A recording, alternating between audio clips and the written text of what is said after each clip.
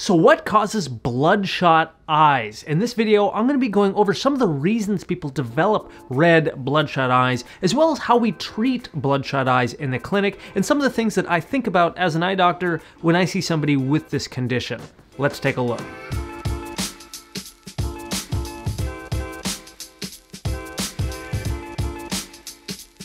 Hello and welcome. This is Dr. Allen here from the Dr. Eye Health Show, helping you learn all about the eyes and finding the best vision products. So if you're new here to the channel and you like taking care of your eyes, then hit that subscribe button so you don't miss any of my future videos. And today we're talking about bloodshot eyes. Actually, fairly recently, a few weeks ago, former Vice President Joe Biden, during an actual like live event, he was talking about climate change. He actually developed a red bloodshot eye on screen live and it looked pretty sinister. Now when this happens we actually call that a subconjunctival hemorrhage. And that is actually where one of the blood vessels underneath the soft conjunctival tissue on the front surface of the eye, one of these blood vessels actually bursts. And because of that front membranous tissue of the eye, again called the conjunctiva, is actually clear, the blood ends up pooling underneath that tissue and it kind of looks as just like blood on the eye. And yeah, this looks pretty nasty. Usually when people have this, they're pretty freaked out. They're worried that something terrible has happened with their eye. But for the most part, it's really just a popped blood vessel. That's really all it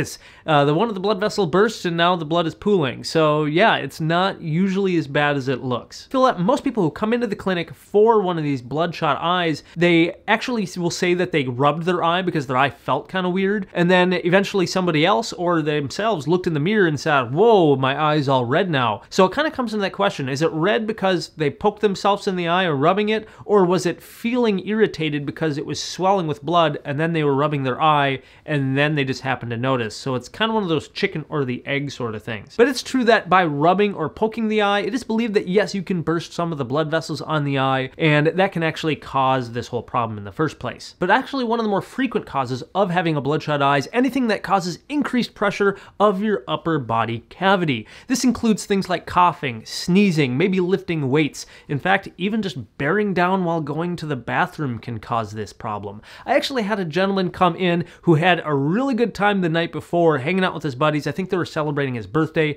but he drank too much and he actually vomited. And that next morning, he woke up with two bloodshot eyes. Yes, both of his eyes were completely bloodshot and he was freaking out. But yes, you can get these bloodshot eyes from doing something very simple, such as sneezing or lifting something heavy, but there's actually some systemic issues that I actually have to worry about when I see you in the clinic for this condition. Most notably is blood pressure. So if somebody has elevated blood pressure, then this could actually be an early sign that they're having problems. So if you're having this issue and maybe you have a family history of blood pressure issues, or you yourself haven't checked your blood pressure in a while, or you don't see a regular, your family physician on a regular basis, that could be an indication of why you'd have a bloodshot eye like this. And that's also a, more of a concern for us because if you have elevated blood pressure, you're at higher risk of things like heart attack and stroke. So yeah, need to check the blood pressure. Now with bloodshot eyes, most people don't get them that often. It's just once in a while. But sometimes people actually come in, they're saying, hey, I'm getting like three or four of these a month.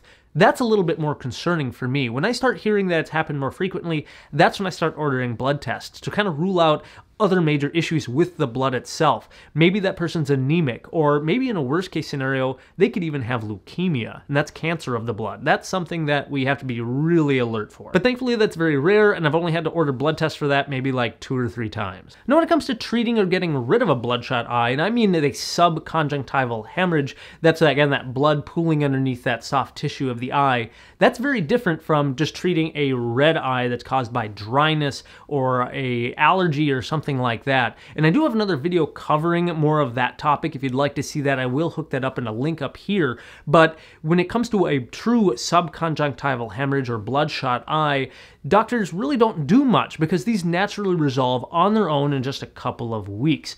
Usually most people will notice the blood starting to basically resorb into the tissues and the redness will kind of gradually go to a pink and then sometimes even leave a little bit of a yellow brown spot, kind of like it's resolving bruise or something like that. But in more severe cases, the blood can pool a little bit and that causes swelling and so people will feel it as they blink. And so oftentimes it's giving an artificial tear, people will use some sort of lubrication on the eye that'll help improve comfort. Same thing with using cold compresses, that oftentimes makes things feel better as well Again, thankfully for most people, when they have these bloodshot eyes, it's not as bad as it often looks. However, if somebody has elevated blood pressure or they're getting them more frequent, that's when we start to get more concerned and we start ordering extra tests. So last question of the day, have you ever had a red bloodshot eye like the ones we've shown here? If so, do you know why you had it? Was it because you sneezed really hard, lifted weights, or is there something else going on? Go ahead and connect in the section below. Hey, if you learned something new from this video, hit that like button for me, subscribe if you're new. Otherwise, keep an eye on it. We'll talk to you soon.